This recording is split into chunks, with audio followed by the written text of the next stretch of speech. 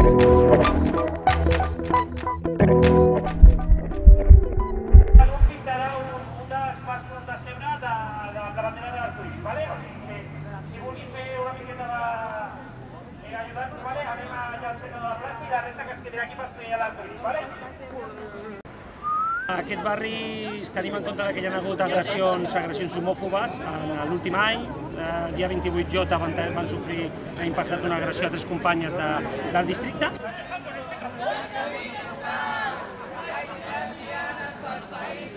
Hem, eh, hem patit un parell de, de llançaments de globus d'aigua i una persona ha sofrit una, una agressió d'una persona en un estat d'alcohòlic, però bueno, que no s'excusa, però un estat d'alcohòlic important. I bueno, han sigut, han sigut agressions que es pateixen cada dia, que es poden patir cada dia als entorns LGBTI, i bueno, no és més que una mostra del per què tenim que sortir avui. I aquest és l'objectiu, no? donar una resposta coordinada, una resposta unitària i poder, i poder acabar amb totes les agressions aquí i a qualsevol lloc contra totes les persones per la seva, per la seva opció sexual o també contra les agressions contra les dones o contra, contra qualsevol persona per ser diferent.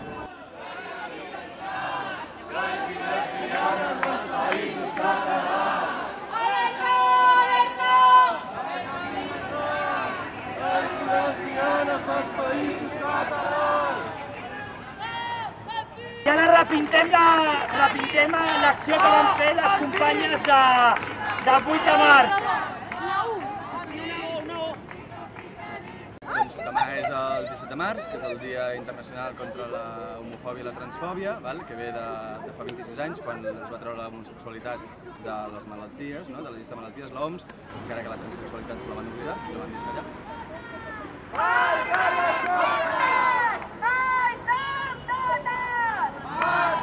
Com que la nostra primera experiència amb, amb l'organització de Mani com a crida LGTBI, el que hem fet ha sigut fer molta difusió, tant en col·lectius LGTBI, trans, eh, tot el moviment, també dintre de, de moviments anticapitalistes i d'esquerres i partits polítics també. És per aquest motiu que aquesta nit ens mostrem tal com som, visibilitzem la nostra dissidència sexual i de gènere i prenem el carrer per cridar ben fort que la nit és nostra, que ens volem vives i que no aconseguireu intimidar-nos perquè juntes som molt més fortes que mai.